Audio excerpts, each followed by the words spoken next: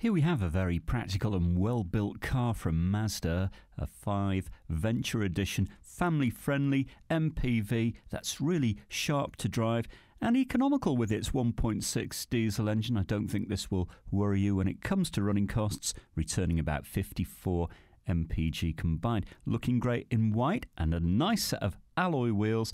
This is covered just over 26,000 miles, which is not many at all for its year. You'll find this easy to get in and out of and a very comfortable cloth interior with lots of leg and headroom, great driving position, good sounding music system, very important, but also Bluetooth if you'd like to find out a little bit more, Jackie's on standby with her team in our call centre. They can answer any questions you might have. Bring your licence with you, have a test drive, and discover this great car for yourself at Fords of Winsford.